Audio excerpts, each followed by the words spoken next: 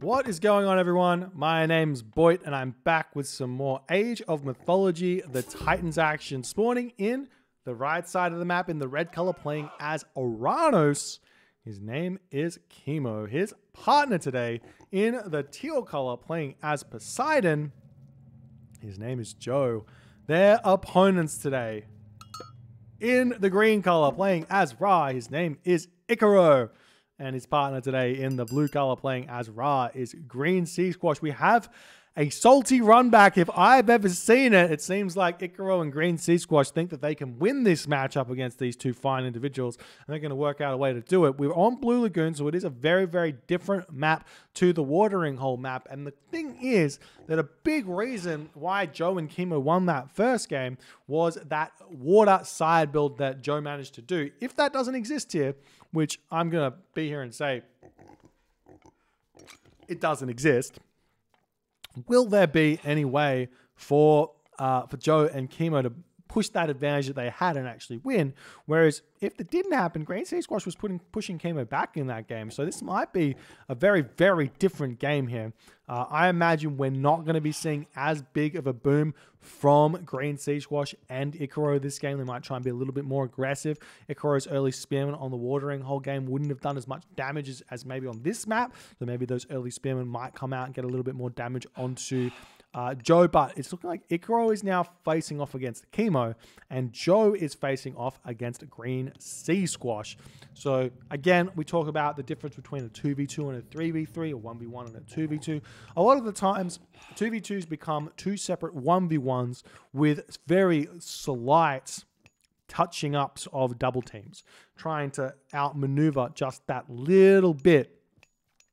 But these guys are top players and they're looking for every single advantage they can get. So, like the last game where they managed to converge on a town center and take that down, this map very very different. You can see the town centers. It's almost like a, a clock here. We have 12 o'clock we have 1 o'clock we have 2 o'clock we have 3 o'clock 4 o'clock 5 o'clock 6 o'clock. It is a clock.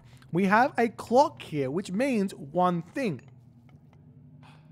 means one thing double teaming a town center is much, much harder for Chemo and Joe. However, we do have Ouranos, so Oranos can circumvent that with some Sky Passage shenanigans and also with the fact that he moves quite fast. And I would love to see Chemo utilize some Sky Passage uh, things in this game. It's one of those. It's one of those things that Ouranos players in team games, just I feel like they don't do it. And yes, you sacrifice one villager and you sacrifice what is it, 300 resources? 350 resources. So it's not cheap. You have to build two of them as well. So it's 700 resources. It's not cheap to do so. But once the villager gets over there, you can just chuck him onto like a wood line or a gold mine or something, totally fine. And then you have an underworld passage, which your opponents don't realize. The difference between a sky passage and underworld passage is yes, underworld passage is uh, free, but it tells your opponent, no, you did it. Your opponents know you did it. For for Ouranos, there's nothing to tell them that you did it. You're just units are just popping out over there, and unless they see the sky passage, they won't know. So they'll be like, "How are you over here? And how are you over here?" They will work out there's a sky passage eventually, but how then do you counter it? Where is the sky passage? All of those very very cool things. We've got the gates coming up now for Icaro. It seems like a little bit of harass was going on here. Is this uh, wall a bit a bit confused? Oh, actually, no. That was um, that was Icaro using a, a, cheeky exploit there. Let's just not talk about that. Uh, we've got the uh, got the monument to the villagers over here up for Icaro. Is a little bit of a bad placement here because it, it, might, if there was villagers gathering over here, they might walk around and bump into this and then have to walk all the way around. But at this point, it's completely fine.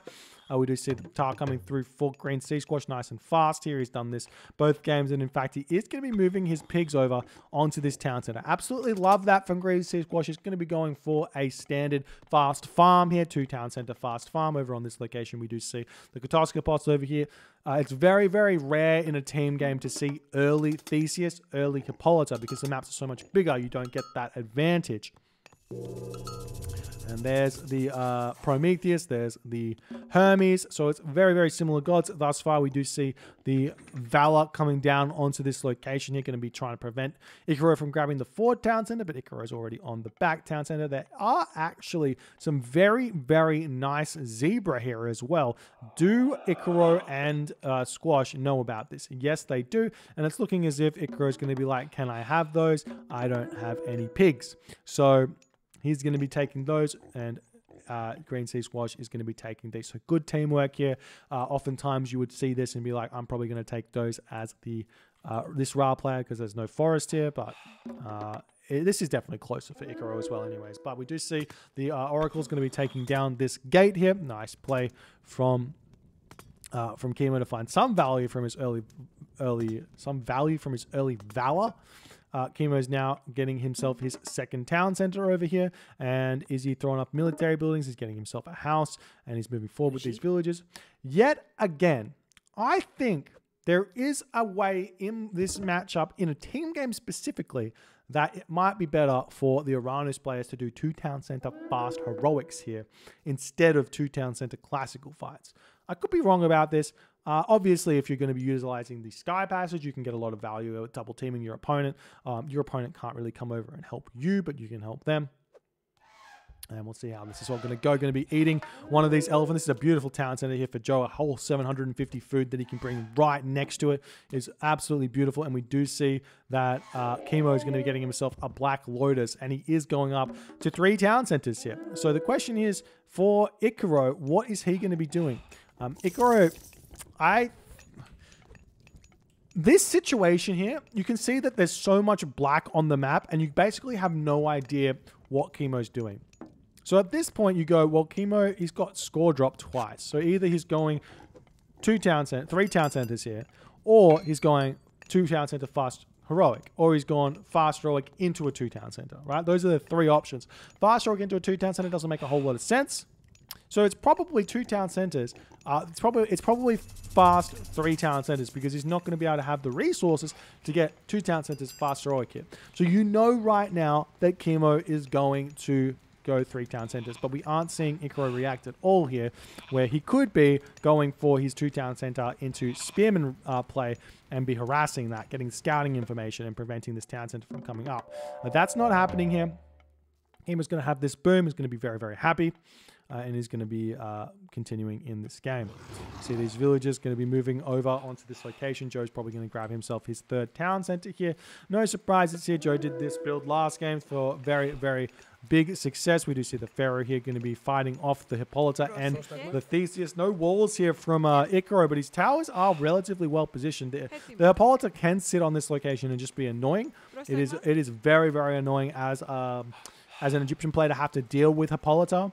But let's be real, you didn't build any units, and the, the Greek player did. So what can you expect? Yeah, they spent 200 wood, you spent nothing. So you need to have some sort of um, punishment for not building anything. So you can say that it's annoying all you like, but you did nothing to prevent it. So, continuing along here, Icaro's rain is down. Green Sea Squash's rain has happened. So much food in the bank for these players. How are they going to use it? Now, one way you can do this for uh, for Green Sea Squash and Icaro is go straight into uh, straight into trade, straight into trade because you have so much extra food in the bank. If you go two town centers trade and your opponent, both your opponents go three town centers, you are in effect actually in front if you can afford to be making those camel caravans because the camel caravans are slightly more efficient than the villages are because you don't need to get any upgrades on them. These villages here, uh, even at shaft mine, they're not faster, not better than a than a trade caravan. The problem does arise when your opponents start hitting your trade route, um, but obviously that's a raid and that's that's something you have to deal with. So right now, Joe's three town centers. He's not actually not actually building villages out of this town center. So I'm not sure if that's just I think that's just a mistake there from Joe. He'll sort that out eventually, I would assume. Well, there he goes. Kimo is three town centers and he's starting to get those units built out. He's making himself Murmillo and Turma. Uh, again, like let's just let's just think about this just a little bit. What do the Turma really do here? Not a lot. What do the Murmillo really do here? Not a lot. Just go to the heroic age. Like if we take a look at this army here, Kimo's got six six, uh, 300 food here. He could probably get to the heroic age at about 930. Three town center, fast, heroic. Uh, could be an option here against this. Maybe. Just maybe. Maybe not. Maybe it's a bit weak. We do see a beautiful shockwave here from uh, Chemo. Going to be attempting to take down this Petsuchos, but it's going to jump into the rock and it's going to be running away. Uh, and we do see one uh, Murmillo falls for that damage there. And I assume that Ikaro is just going to pull this Petsuchos back, heal it back up with the priest. And, and that's going to be a big, big win there for Ikaro. As Chemo's still pumping out these villages as fast as he can. Joe doing the same thing. And what's happening over here for Green Sea Squash? Green Sea Squash, he's not able to get his second town center. I wouldn't be surprised to see a Mythic Age here. His market is not up. He is throwing up a market here and getting a wall over here. Definitely want to get the market up in this corner eventually. But if you're trading with your partner, you get that boosted trade uh, if you check this out, if you trade with a allied town center, it produces more gold, cannot be garrished 50%, uh, 50% more gold if trading with an ally. So if imagine this is the hometown center and you get, say, 80 gold for it, you actually get 120 gold for this one. So it's super, super value. Don't need to go into the very corner. Obviously, you get a ton more gold if you do, but we do see a Migdol Stronghold up on this location here for Green Sea Squash's Chemo is trying to converge on that location to try and take it down. There could be a big, big double team coming down onto this location very soon. But I imagine Ikaro very, very calm here, making a ton of units. He's got a beautiful gold mine, double walled already over here, and another gold mine over here. So Chemo's got no real avenue to put pressure onto his opponent uh, at this point into the game. So Ikaro is coming over here. He's got a couple of units onto this already. Uh, but you have to remember, one Migdol Stronghold is scary for a small amount of Poseidon units it's not that scary for a fairly decent amount of Poseidon units plus Uranus units. As that's exactly what's happening here as Chemo moving in and these players are just like, what are you doing, Green Sea Squash? I don't even care. Let me just take down your villages. And this is a brutal raid. No shockwave available for Chemo. No god power available for Joe. But just pure pressure right now. We see the Petsuchos is in over here. The Hippolyta immediately going to be targeting this one down. The Hero Turma popping onto this as well. Going to get some big, big DPS done. But a Camelry targeting it down. The Hippolyta is now starting to shoot the Petsuchos. Look at that damage there from the Hippolyta. So we are seeing the villagers getting pulled off their gold mine. Going to be trying to target this one back. And uh, it looks like Green Sea Squash has set up his team to fail here uh, by going for this gold mine. We see all these units for Joe just sitting under this Migdol stronghold doing tons of damage. We see the Turma running over here. It looks like the myth units are all out for Ikaro though, and Ikaro so big, so strong right now with all of these myth units. These Petsuchos do so much damage. He's going to easily be able to fend off these units. But Joe's saying, I want to take this Migdol stronghold down. I don't care, and Green Sea Squash says, well, what are you doing? Repair rate, too good. With Ra, going to be able to defend this. No problems here. And Chemo Joe going to have to pull back. The damage, though, has been done. That's a lot of idle time, a lot of dead villagers there. A lot of these are villager carcasses, and that's huge for uh, Green Sea Squash uh, oh, sorry, for Chemo and Joe. Very, very bad for Green Sea Squash as he's going to be having to recuperate here. We do see this town center still not getting grabbed. Green Sea Squash is in the mythic age right now. He's managed to get himself that son of Osiris out. Ikaro, on the other hand, he's two town centers as well, not able to get his third town center just yet, though he probably could have thought about getting it while this fight was going on. Uh, and we are seeing Chemo just returning over here, and we see the son of Osiris get a big, big zap onto these units. Does snipe one of those chariot archers beautifully there before getting away. So nice play. And now we see the town center coming up for Ikaro. We've got the rock flying overhead. Chemo says, immediately I'm coming over here. But Ikaro's got the army comp. He's got four Petsuchos, one Wadjet, not that many Kuros here for Chemo. So these myth units will do so much damage. There's the Hyperion coming through for Chemo as he does immediately cast the Chaos down onto this location. That's going to make one of those Petsuchos do so much damage. And we do see a shifting sands there by Ikaro to save his army and uh, and leave the Petsuchos behind. The town center is still going to be attempting to get up here. We will be seeing Ikaro attempt to retreat these away, but there's a Hero Turma chasing this one down. The villagers do drop their very, very lucky by Ikaro that one of those javelins did miss. It seemed like at the very least. And now Ikaro is going to be moving over onto this gold mine. It seems like as Chemo going to be able to prevent that Joe over here taking his time, does not need to put too much pressure on just yet, wants to get to the uh, Mythic Age here. He's in the Heroic Age defending these raids thus far. Joe with a lot of gold in the bank. Does he have a market? I don't see a market up just yet, but he is building it. So now he can buy himself 500 food, go to the Mythic Age, probably through Artemis. We do see a Locust up here. Again, misfiring this Locust, placing that one to the top of the mining camp, and the village is just simply going to calmly walk away. No problems here. And we do see these units fighting each other off the cavalry, getting a big damage done onto these Hippikon. The cavalry very, very strong here against Hippikon. Uh, even though they are medium Hippikon, it's not quite enough to really deal with this. It's going to be close, and we do see the Chariot Archer get sniped down, and then the, maybe the two Hippikon will win this. But now, surely Joe going to the Mythic Age? Nope, he's not. He's not buying the food to go there, but we are seeing uh, a priest now helping this out. A big shockwave literally hitting every one of those units there for Chemo. Beautiful job there. Icaro having to retreat back. We just see the hero Murmillo going to get sniped down. Still no Petsuchos are falling. This Satyr is a good response here onto these units. The Murmillo all going to be trying to target this down, but with the medium destroyer coming in, that's going to do a lot of damage. Now we see the Murmillo going after these villages. Chemo says, I'm just going to keep pushing in here. I don't mind. Another palace coming in. Three destroyers in onto this location. Icaro not able to do too much. The raid's still coming in onto Joe's villages. Green Sea Squash too far behind though as Joe pushing in over here, doing some big damage. He's still not going to the next age, getting himself out at Atalanta here. So we see the villagers all getting picked off. These destroyers just completely prevent this Townsend from going up right now. We are seeing the Satyr going after this uh, Wadjet and a curse onto this location kills so many villagers. But Icaro hits the Mythic Age there through Osiris, and he's going to start being able to hold onto this location very, very nicely now with that one. Uh, even after that curse, so much damage there. Uh, and Joe in a beautiful position. Chemo starting to dwindle, though, as he's not able to make his way through here. So this is kind of all going to be up to Joe to make this happen.